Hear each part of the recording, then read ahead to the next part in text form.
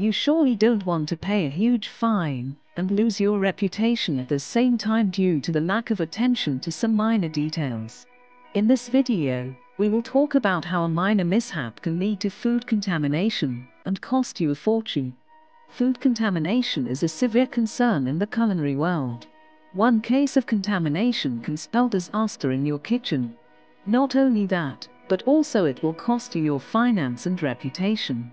If you want to avoid that and know about the most common five sources of chemical contamination, then keep watching. Here are the most common five sources of chemical contamination that might be happening in your kitchen. Kitchen cleaning agents. Do not store your food in the same place as your cleaning agents and only use products designed to clean kitchen applications. Leakage of cleaning agents can cause severe damage to your food quality. Unwashed fruits and vegetables. When you buy fresh fruits and vegetables, there still might be pesticides and fungicides on them, which can be harmful if ingested. So it's essential to wash all fruits and vegetables before preparing them properly. Non-safe plastics food containers. You should always avoid using one-time use items like plastic containers.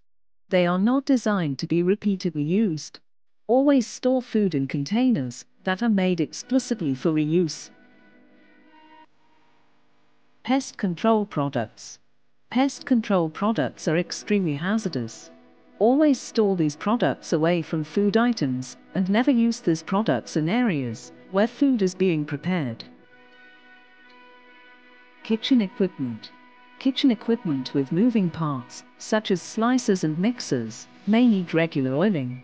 Always use food-safe oil for oiling the equipment to prevent chemical residues from contaminating food. Do you want to know more about food safety and hygiene?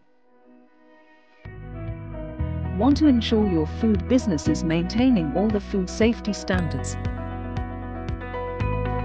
Then join the outstanding Level 2 Food Hygiene and Safety for Catering course of Training Express and educate yourself on all the essential rules and legal responsibilities of food hygiene and safety.